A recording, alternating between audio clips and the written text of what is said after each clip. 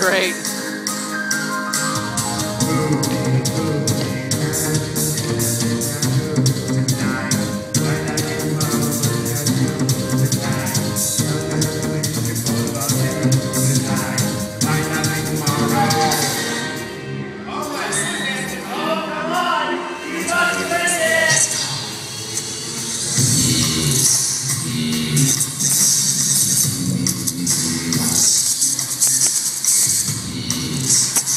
still filming.